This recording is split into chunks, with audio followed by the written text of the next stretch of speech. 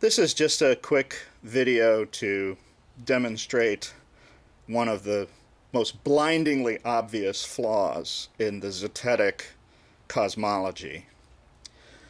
Uh, I could have chosen uh, something else like the lunar surface features like the craters, the mountains, the maria, etc., etc., but the lunar phases are so readily apparent that uh, I'm going to go with those. Now let's say, well, first let me explain what the uh, flat earthers say about the motion of the moon and the sun. They claim that the Earth is a big flat disk about 25,000 miles across, and that the sun and the moon revolve around above it on planes that are parallel to the Earth's surface, but a few thousand miles up. And they say that these are their revolutions are centered around the North Pole. And explain the seasons, they say that the sun moves northward for half the year, and then its orbits get larger and it gradually moves southward for half the year and it moves back and forth like that. But the reason that they came up with this model is because in the mid 19th century, when the zetetic nonsense was being created, everyone knew that not everyone on the earth experienced day and night at the same time. They had to try to explain why people in Moscow could be experiencing the middle of the night at exactly the same time than people in San Diego were experiencing the middle of the day. So that's why they came up with this idea of the Earth revolving around above the surface of the Earth and only lighting part of it. But here's the problem.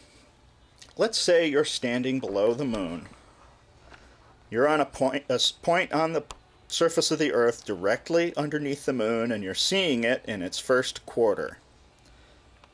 Like this. Okay, so here's you at point B, and the black line is the surface of the Earth. And you're looking directly up at the moon. And I'm going to put the lens right over point B and look at the moon and see it in its first quarter. Now let's say you're another observer about 3,000 miles away.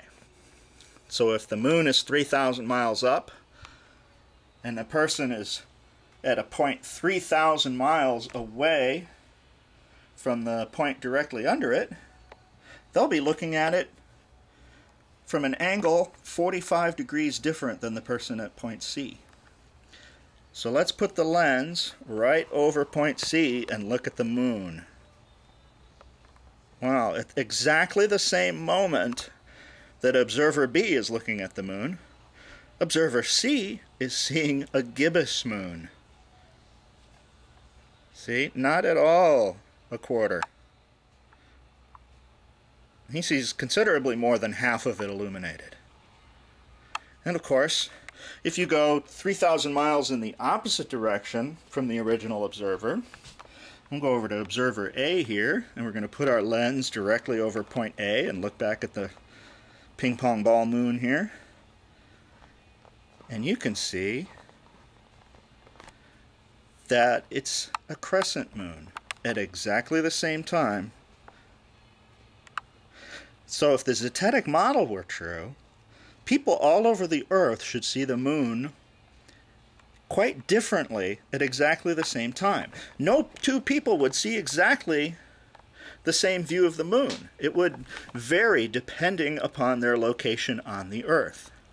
Of course, in real life, when one person on the moon is seeing a first quarter moon, everybody else on earth who can see the moon at the same time is seeing a first quarter moon. No one on Earth can ever see the moon by a difference in angle of more than about 1.9 degrees. That's like having an object 30 feet away and stepping one foot to the right and looking at it and seeing the change in angle. So have at it, flat earthers. Try to explain the magic behind everyone on Earth seeing the moon at exactly the same phase at exactly the same time.